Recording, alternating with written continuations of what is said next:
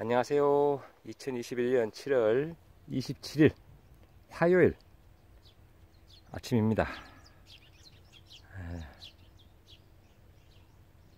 출근 전 잠시 농장 들러봤는데요. 오늘은 아, 제가 며칠 전에 퇴근하고 어둡기 일보 직전에 제가 블루베리 교체 작업을 했었는데요. 아로니아. 그래서 제가 한 번 더 보여드리겠습니다. 너무 어두웠었기 때문에 아, 요 30평 규모의 복분자 농장 안의 미니 농장 이 블루베리와 아로니아 그리고 자투리 공간에 심은 파 한 번 더 보여드리겠습니다. 예, 블루, 어, 블루베리는 품종에 따라서 이렇게 수확기가 차이가 납니다. 수확기가. 아, 이 녀석은 미안할 정도로 많이 달렸습니다. 총총하게 달려가지고 아마 요 한 포기에만 해도 아마 1kg는 넘을 것 같습니다. 1kg. 예, 이렇게 익으면 아, 수확할 건데 아, 생각보다 빨리 익지 않네요. 예, 블루베리 밑에는 지난번도 말씀드렸듯이 이렇게 어, 솔잎 솔잎을 덮어서 풀을 좀 억제하고 나중에 이 솔잎이 썩으면 예, 솔잎은 산성이라고 제가 말씀드렸죠. 이 산성 테리가 되기 때문에 아, 블루베리 아마 도움이 되지 않겠나라는 생각으로 이렇게 솔잎을 덮어놨습니다. 솔잎 예, 이렇게 블루베리 이것은 지난해 심은 거고요. 지난해. 그리고 금년에 심은 블루베리 금년 봄에 대략 한 15포기 심었는데요. 아, 빛이 받쳐 가지고 영상이 아, 반대로는 잘 나오네요. 이렇게. 그리고 아, 금년 한 해만 이 짜투리 공간에 제가 이렇게 대파를 심어서 어, 공간에 활용을 했고요. 일종의 이모작이죠.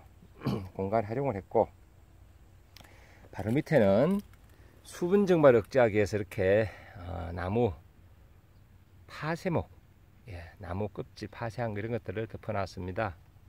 예, 수분 증발 그리고 물 줄 때 물을 튀는 억제하기 위해서 이렇게요.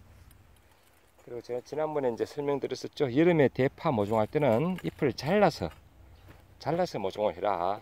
그러면 금방 이렇게 새순이 올라온다. 예, 금방 이렇게 새순이 올라오면서 아, 성장을 하고 있습니다.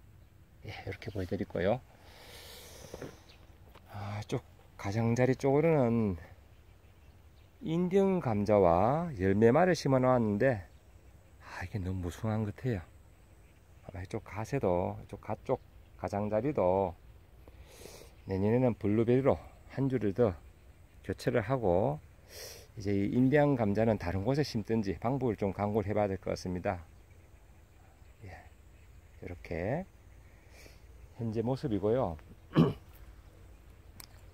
다음은 아로니아입니다. 아로니아 6월 초에 제가 전지를 했다고 말씀드렸죠. 전지를 해서 지금 이렇게 보시면 10cm 부위에 대부분 다 잘랐습니다. 잘라가 내년도에 많은 결실이 맺도록 해두었고요. 어, 밑에서 올라오는 흡지는 흡지는 아, 금년 한 11월, 10월이나 11월 낙엽에 치면 제가 제거 예정입니다. 그리고 어, 많이 수확하기 위해서 대략 지금 다분지를 이렇게 어, 주지는 대략 한 10개 정도 두었습니다. 아, 나중 가면 아마 한 6개나 5개 남을 거예요. 나중 점점 더 크면서 어, 가운데를 종 모양 U자형으로 아, 전지를 할 그럴 계획입니다.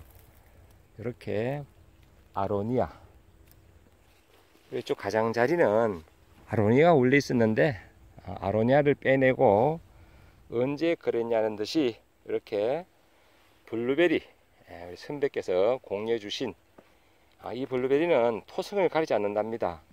토성을 가리지 않고 예, 산성이 아니어도 잘 자란다 라고 말씀하셨길래 제가 이 팔랑기가 작동을 했었습니다. 그리고 보시다시피 열매도 그렇게 작지도 않습니다. 아, 수확은 어, 이렇게 7월에서 어, 8월 아, 늦게까지 수확할 수 있는 그런 품목이라 해서 제가 이렇게 옮겨 심었고요.